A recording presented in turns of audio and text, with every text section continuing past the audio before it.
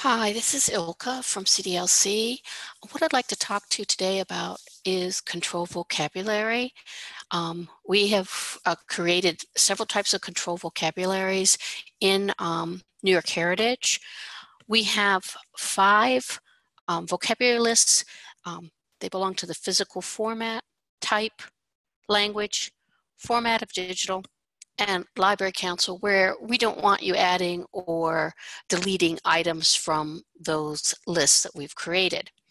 However, then we have um, two fields. One is the subject Library of Congress subject heading. One is subject TGM. Um, we allow you to add new terms to both of these lists as long as these come from the Library of Congress. We also have up to, I think, five more fields.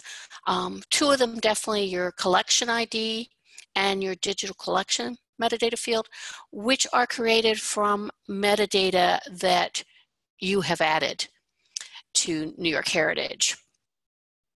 One of the issues uh, people have asked me about is how come some of the control vocabulary terms that they have added in the project client are not in their control vocabulary lists. The reason for this is that when you go up to approve an item in the CONTENTdm administration uh, website, uh, under the tab, um, item tab, under approve items, there's two approval queues. One is called the full approval queue actions.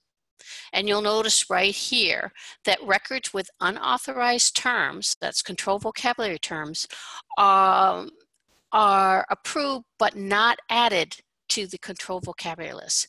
So if you're using that a full approval queue action, none of your new control vocabulary terms will be added to your control vocabulary list. You must use the detailed approve queue action section where first you're allowed to um, add your new vocabulary uh, terms, your control vocabulary terms. Just make sure that you are not adding new terms to those five fields that I mentioned, physical format, type, language, format of digital, and Library Council. And then once you've added these new terms, you can go down and approve um, your item.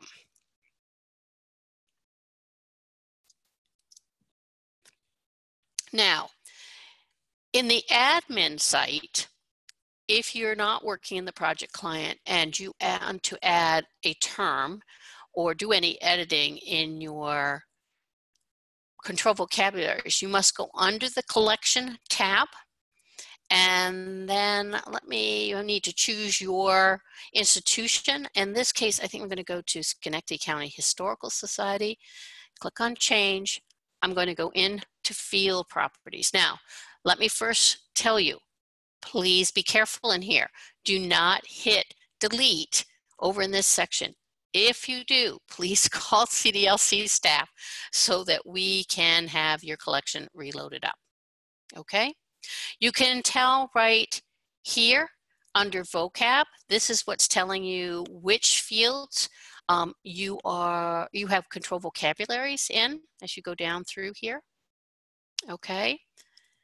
And in this particular, let me just take one of these fields. Let me take one that you're creating the digital collection.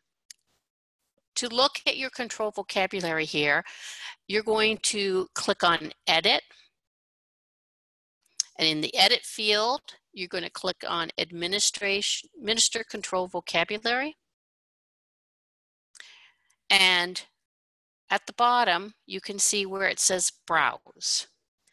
This allows you to see all of the control vocabulary terms you have for that metadata field. The verify down here shows you if there are any terms um, in your metadata for this field that do not correspond to that control vocabulary list, which I think in this case will be empty for this one, okay? So let's go back to fields again, and digital collection, administer control vocabulary, and here you have this again. Browse shows you your control vocabulary list. Verify shows you what is in your metadata that does not match your control vocabulary list. The other two areas here that we have is this is where you can add a term to that particular control vocabulary list. That would be for your digital collection. This is where you can delete a term. So let's go and just try one of these out. I'm going to go back to fields and I'm going to go to uh, collection ID.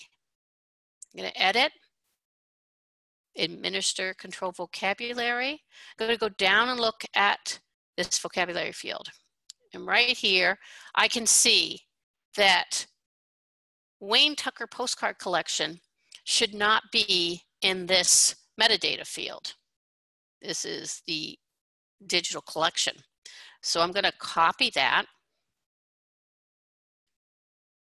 go back into this area, and I'm going to take that term out of this list. To delete. If I go back to browse now, there's my control vocabulary list. Okay. And if I go down to verify, there's the one term still in my metadata that should not be. At this point, I can copy this term, go into items, go into edit, go into selected fields and put that in there. The field we were in was collection ID. I want the exact phrase and I'm gonna do search. And these are all the items that have that term, that phrase actually, in my collection ID instead of in my digital collection. Okay, so I would have to um, bring these down to my project client. That's probably going to be the easiest thing to do and, um, and replace them. Uh, another way you can do this is do find and replace. Uh, however, in these cases, you may want to look at one of these just to see what has happened. So let's see what we have.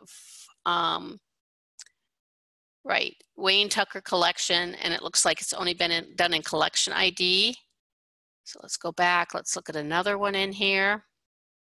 And again, collection ID there, and the digital collection is fine. And so we could go through and check all these. If we find that it's very simple, that we just have to replace the collection name that was put into the collection ID field, we could do find and replace if we wanted to. Those are the two different things that you can do. But I just wanted to show you the, the step for doing this. If you have any questions, contact uh, CDLC staff and um, we can go over them with you. Thank you.